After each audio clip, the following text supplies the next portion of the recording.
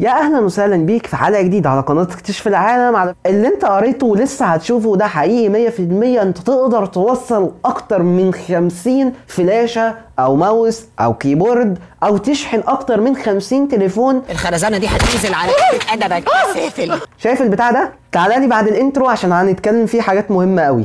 يلا بينا.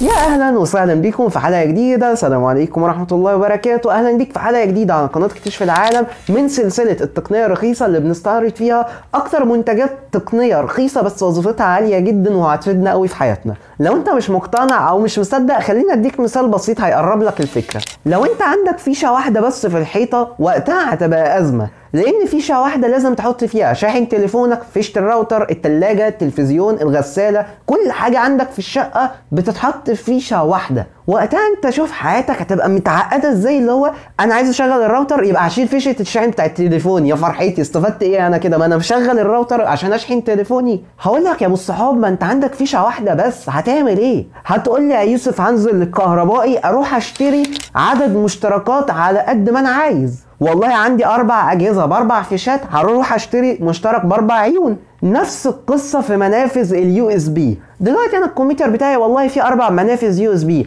أول واحد بيكون للماوس تاني واحد لل keyboard تالت واحد للسماعة رابع واحد لل RGB بتاع السماعة. طب أنا دلوقتي عايز أشحن تليفوني عايز أركب فلاش عايز أنقل data عايز أعمل أي حاجة أعمل إيه؟ خد عندك مثلا يا سيدي أنت دلوقتي عندك مثلا business معين لازم تحط فيه خمس فلاشات في نفس الوقت. هتعمل إيه وقتها؟ هتقول لي يا عم يوسف أنت الكمبيوتر بتاعك فقير ما فيهوش غير أربع منافذ USB. أنا واحد عندي ستة. هقول لك ربنا يخلي لك الستة.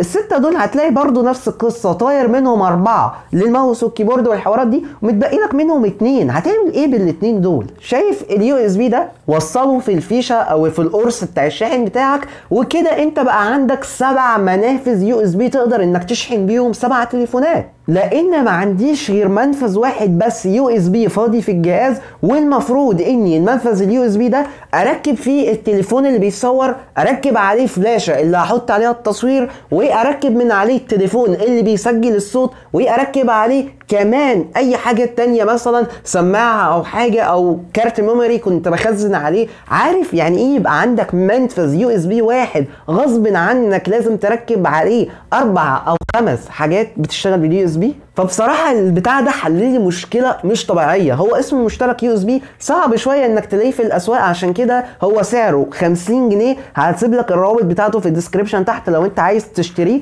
مميز جدا ولطيف جدا جدا. صدقني هيفيدك قوي في حاجات كتير جدا. متوفر منه اللون الأسود والأبيض. وكمان لو أنت شايف يا يوسف إيه البعزقة دي هروح أشتري سبع منافذ USB. ليه؟ في منه النسخة بتبقى النص يعني بيبقى أربع ما تقوليش طبعا ثلاث منافذ ونص. اصحوا اصحوا أنتوا هتناموا. بس حرام عليك مش معنى ان أنا بقول لك النص يبقى نص السبعة لا. أنا اقصد ان هو يعني نصه كده وبيبقى في الحجم ده كده اهو بيبقوا أربع منافذ بس. ده في حين ان انت شايف نفسك مش عايز بعزقة يا عم أنا هعمل إيه بالسبع منافذ دي؟ بس بصراحة أنصحك تشتري السبعة لأن الفرق ما بين السبعة والأربعة نقول حوالي 10 جنيه أو 15 جنيه فهيكسبوك ثلاث منافذ جداد فريح دماغك. وعلى فكرة سهل جدا في التركيب plug and play يمكن يعني بس يمكن ينقصك إن أنت تدوس على الزرار اللي أنت عايز تشغل المنفذ بتاعه عشان ما يبقاش ساحب power من ال case عندك وخلاص. كمان حكاية الزراير دي مميزة جدا. أنت ممكن تركب مثلا على سبيل المثال سبع فلاشات وبدل ما أنت السبع فلاشات طالعين لك على الكمبيوتر لأ